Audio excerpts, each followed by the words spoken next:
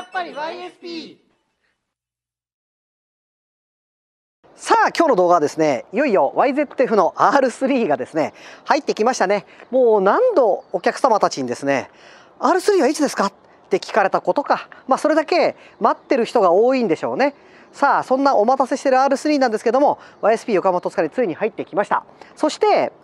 これもちろんまだ今はまだなんですけどナンバーを取ろうとしてます。なのでこれを見ていただいている皆さんにはですね来週再来週のところで何かしらの情報はさらにお伝えできるんじゃないかとは思うんですけどもとりあえず今日はですねまず見た目ですね。見た目の違い。R25 と R3 って何が違うのっていうともう調べ抜いてるあなたたちは実は知ってらっしゃるとは思うんですけどもただですねまあちょっとこの動画で軽く勉強しようかななんていう方はですねまあ気になる部分だと思いますんで今日はまずは見た目のところその辺をお伝えできたらなと思ってます。早速行ってみるんですけどもまずですね明確に違うのはタイヤですね。タイヤ見てみましょう。320cc の方は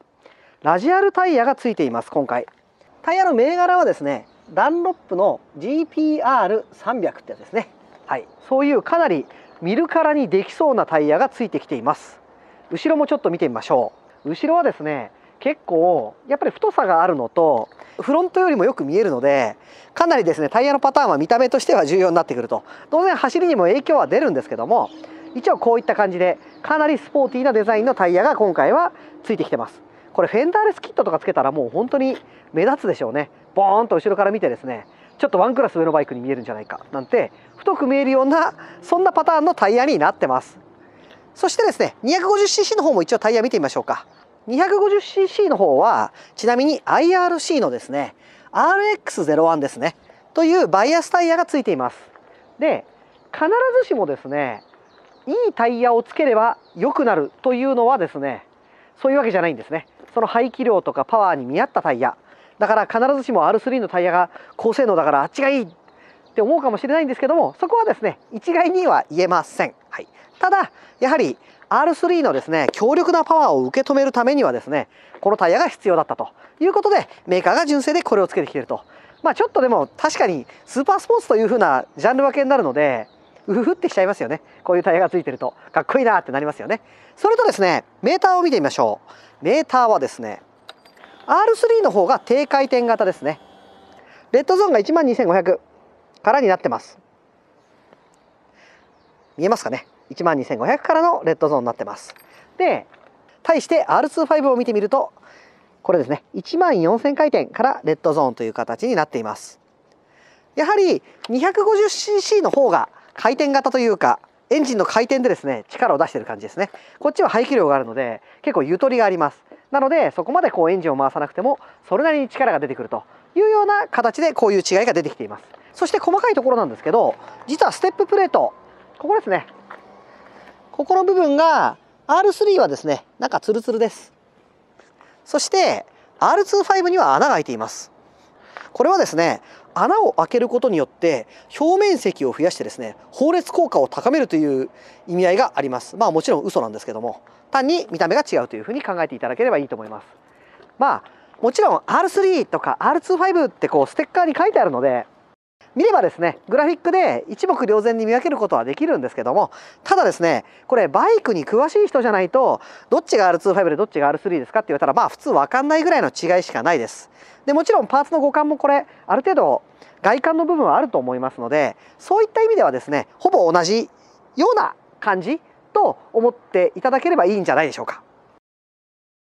さあそんな R3 なんですけども今回は YSP ではマットブラックの色を展示として入れました。そして250はブルーですね。やはりですね見たいという方が多いカラーではありますのでその2台をご用意させていただいてはいるんですけども動画の方はですねもちろんこれ比較動画撮りますよ。で実際ただですねもう前のタイプ要は1個前の2018年モデルでも比較動画っていうのは撮影してるのでいや違いますね。えっ、ー、と2015年の初期型ですね。では3と25の違いっていうのは動画撮ってるんですよ。で今回新たにこのようにモデルチェンジはしてきたんですけども当然違いがあるとは思うんですけどもあれからですねそれなりに進化してると思いますエンジン型式変わってますからねなのでそういったところも含めてですね実際にどう進化したのかそしてどう違うのかはですね今後また新しい動画をですね是非お待ちいただければそんなに時間をかけずになんとか仕上げてですねあの皆さんのところに情報としてお届けしたいなと思ってはいます。そしてですねちょっとですねエンジン音を比較してみましょうか。それならば簡単に今できますんで。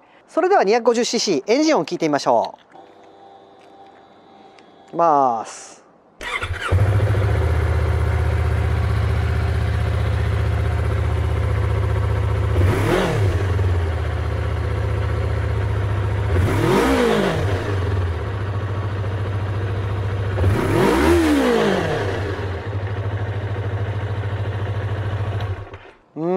軽やかで相変わらずいいですね。こうシャッときますよね。シャッと。なので結構やっぱスポーティーな感じ。でやっぱ軽快感ありますね。なのでこの手の 250cc のスポーツバイクだとまあとても何て言うんですかね。盛り上がる。気持ちが盛り上がる音ですよね。なので相変わらずいいじゃねえかって感じですね。さあ次 R3 行きましょうか。じゃあ行きます。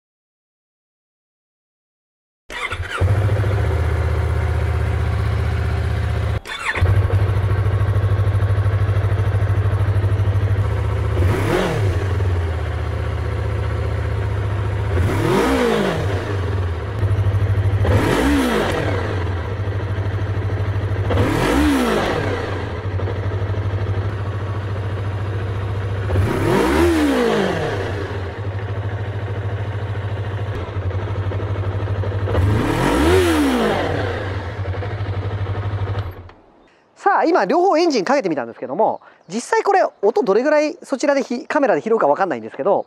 雰囲気としてはこっちはやっぱりね軽快なイメージです。軽やかですね。でファンファンって吹き上がってレーシーなイメージですね。なので例えばそれなりの速度域で結構なんか走らせたら面白いんじゃないかなっていうようなそんな感じの速度域です。まあ実際面白いんですけど。そして R3 の方になるとなんかね力ずくで回ってる感じというか野生味がある音ですね。これちょっと伝わってるか分かんないんですけどブワーンってこうエンジンが勢いでまあごめんなさい擬音で申し訳ないんですけどバーンと回りますね。なので力ずくで吹き上がってる感じ。だから野生的ですね。どっちかっていうとなんかこうワイルドなすごいそういう感じの音に、えー、聞こえます。なのでちょっと待ってくださいね。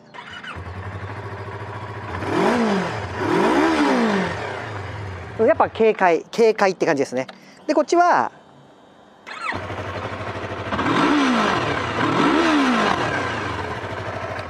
なんか凶暴な感じですね。なのでそうですね。違いとしてはそういう違いがあります。軽快で軽やかで、えー、甲高い感じ。こっちはちょっと上の方まだ回したことないんで分かんないんですけど凶暴な感じですね。なんかもうブワンって感じですね。なのでそこで好みが分かれてくるのかなとは思ったりはします。こっちはこっちで回すと楽しいですし音も甲高いですしこっちはなんかこう何て言うんですかね。